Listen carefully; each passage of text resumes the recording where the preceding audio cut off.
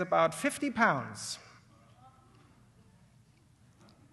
Now, not quite the image of the stumbling fool attired in full armor who could hardly move, let alone get into the saddle of his horse, and where's my pulley or crane? Not quite.